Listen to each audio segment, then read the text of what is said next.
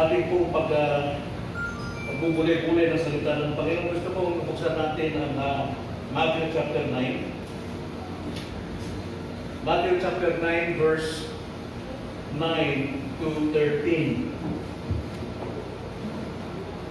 Ganito ang sabi. Habang si Jesus ay naglalakad mula roon, nakita niya ang isang tao na tinatawag na Mateo na nakaupo sa tanggapan ng buwis. Sinabi niya sa kanya, Sumunod ka sa akin. At siya ay tumayo at sumunod sa kanya. Habang nakaupo siya sa may hapagkainan sa bahay, dumating ang maraming maliningin ng buwis at mga makasalanan at pumupong kasama ni Jesus at ng kanyang mga alagad. Napakita ito ng mga pariseo, sinabi nila sa kanyang mga alagad, bakit tanging isalo ang iyong guro sa mga malinigil ng buwis at mga makasalanan? Ngunit nang marinig niya ito ay sinabi niya, ang mga walang sakit ay hindi nangangailangan ng mga kundi ang mga may sakit. Kaya Humayo kayo at pag-aralan ninyo kung ano ang kahulugan nito. Habag ang ibig ko at hindi handog, sapagat hindi ako pumarito upang tawagin ang mga matuwid, kundi ang mga makasalanan. Ang ating teksto ngayon ay binigyan ko po ng pamagat ating pag-aaral, puso para sa mga ligaw. Puso para sa mga ligaw. Tayo na langit. Panginoon, salamat po sapagkat tunay na ang inyong mga tao na iyong pinili, na iyong hinilang, inilala sa wala pang uh, simula ng sanlibutan upang italaga ninyo na maging katulad ng inyong buktong na anak na si Yeso Kristo.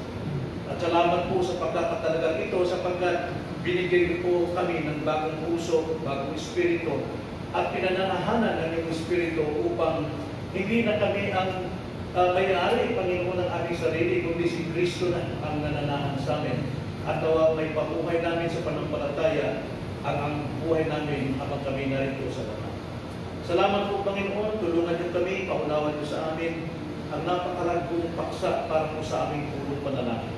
Kung aming dalangin sa pangalan ng Panginoon Jesus. Amen.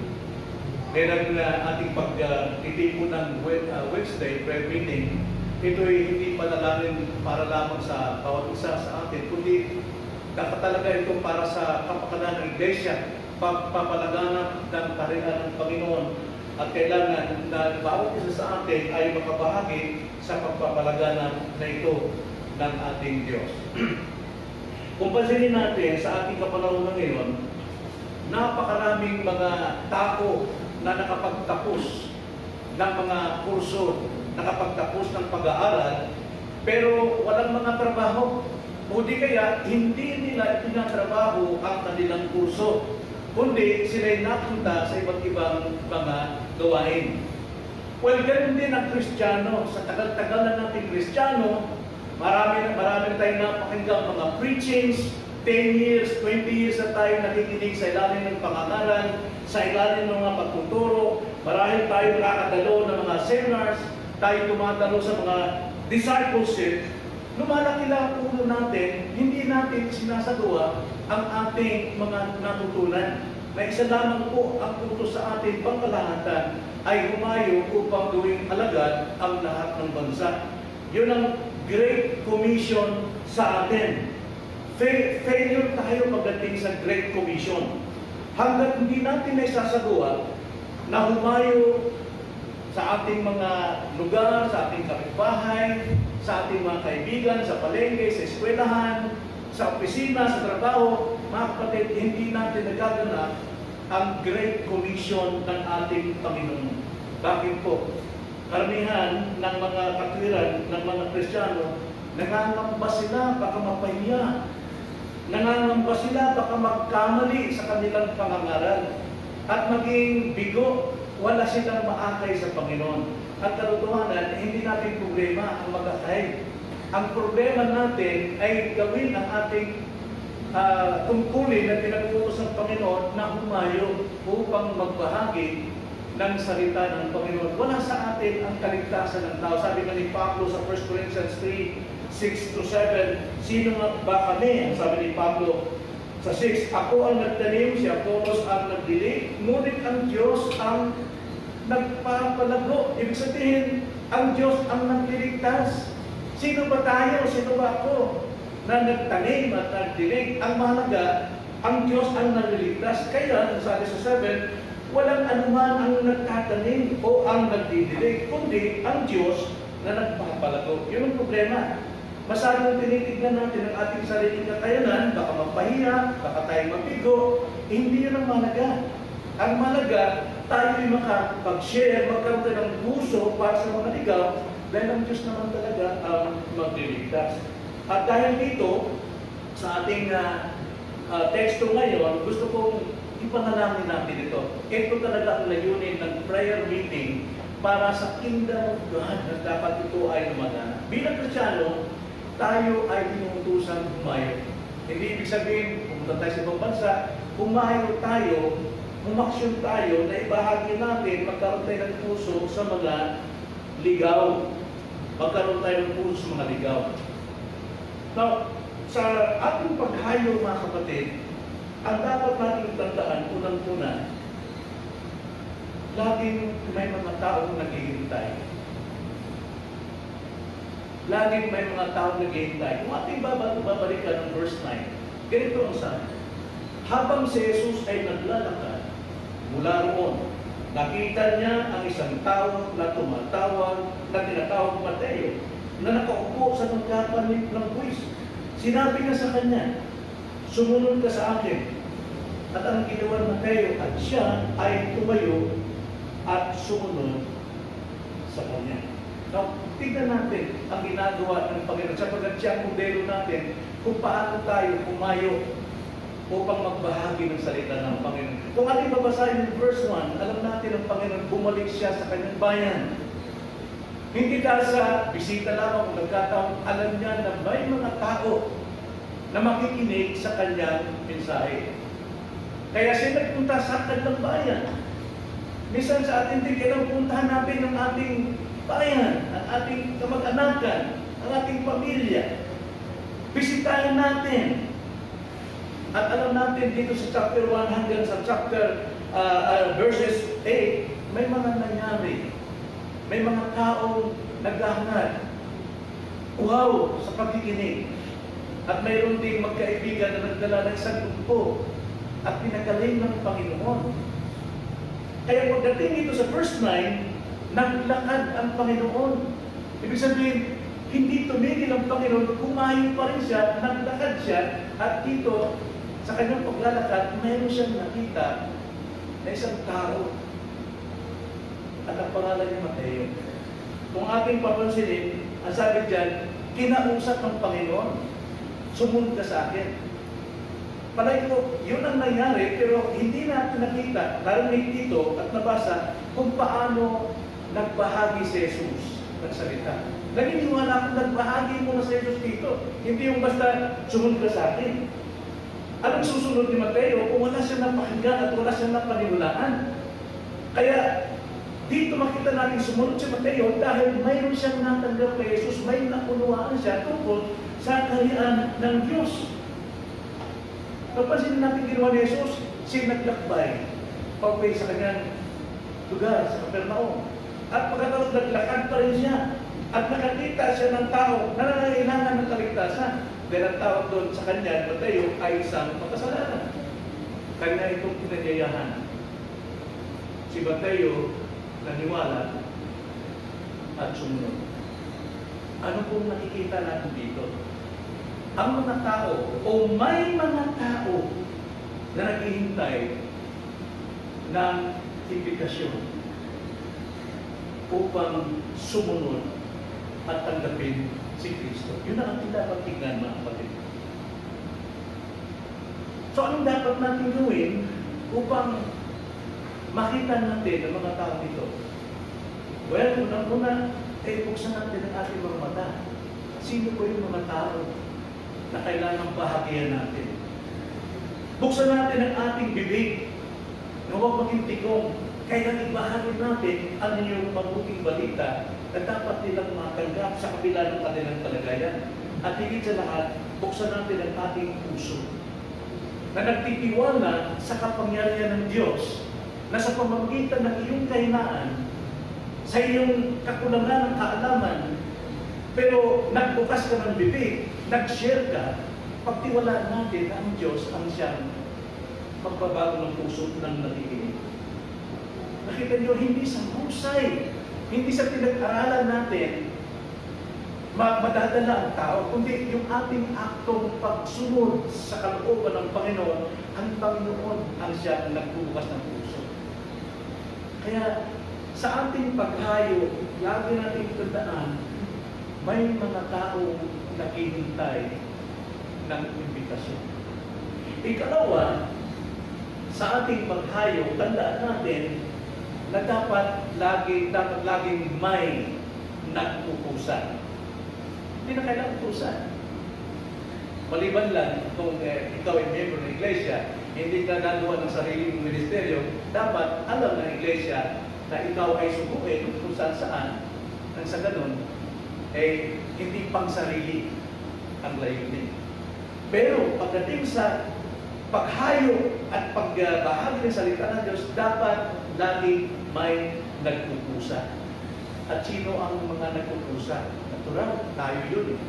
Dahil tayo lumalakad ayon sa steps ng ating Panginoon. Kinakailangan nakahanda tayong katagpuin ang mga tao kung nasaan sila, kung ano yung kanilang kailangan. So anong ginawa ni Jesus dito? Pansinin natin sa verse 10. Ang sabi sa verse 10, habang nakaupo siya sa may hapagkainan sa bahay, dumating ang maraming maniningil ng buwis at mga makasalanan at umupo kasalo ni Jesus at ng kanyang mga alagad. Kaninong bahay kaya ito? Natural kay Mateo. Marahil si Mateo rito, ininiyahan niya ang Panginoon eh, na punta ka sa bahay at iniyahan kitang maghapunan. Kaysa kayo naman sa Luke chapter 19, ang Panginoon mismo nagsabi, Mateo, bumaba ka, madali. Kailangan pumasok sa iyong bahay. At tinanggap na mali na maligaya, may kagalakan eh, si ni Sakeo, ang Panginoon. Pero dito kaiba. Palagay ko si Mateo ang nag-invite kay Jesus. At alam nyo, hindi ko tumanggi si Jesus. Tinanggap niya ang panyaya. Nakihalubilo siya sa maraming mga makasalanan, pati ang mga religious people, mga pariseo at eskriba na naroon, nakihalubilo siya. Ano na yun Para magbahagi ng katotohanan. Yun din ang kailangan natin. Dapat tayong nakikihalubilo sa, sa amang lugar, sa eskwelahan, sa trabaho.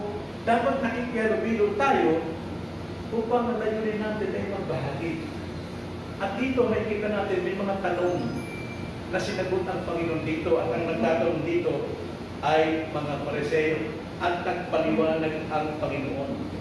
Pinaliwanag niya ito eh. Tingnan sa verse 12 hanggang 13. Ang sabi sa, sa 11, nang makita ito ng mga pariseo, sinabi nila sa kanyang mga alagad, bakit nakikisalo ang inyong guro sa mga maniningil ng buwis at mga makasalanan?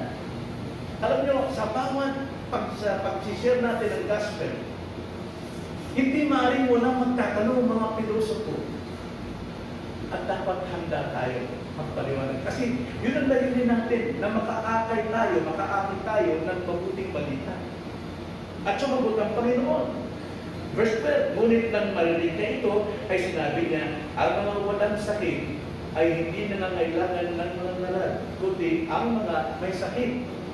Kaya humayang kayo at pag-aralan ninyo kung ano ang kahulugan nito. Habag ang ibig ko at hindi yan to. Sapagkat hindi ako pumarito upang tawagin ang mga matwi, kundi ang mga makasalanan. Kung titignan natin sa panalagdan ng Panginoon, may kasama itong review sa mga eskrita. Kundi kaya parang sinagot ang kanilang pagkapilosopo. Pero sa atin, hindi natin ganito ang ating uh, pamamaraan ng pag-share. Kundi, i-share natin ang katotohanan. Sapagkat itong sinabi ng Panginoon, katotohanan talaga ito, na hindi siya naparito para sa mga matri. kundi sa mga makasalanan. Ganito po lang naran ng Panginoon. Kaya nga, sa ating uh, pangangaral, hindi lamang tayo naglilibot, hindi lamang tayo naglalakbay upang makakita ng mga tao na ating anayahan at bagay na nagsalita ng Panginoon. Dapat tayong gumagawa ng tulay sa mga tao upang maakit natin sila at maimbitahan natin sila sa Panginoon. Tayo mismo gagawa ng tulay.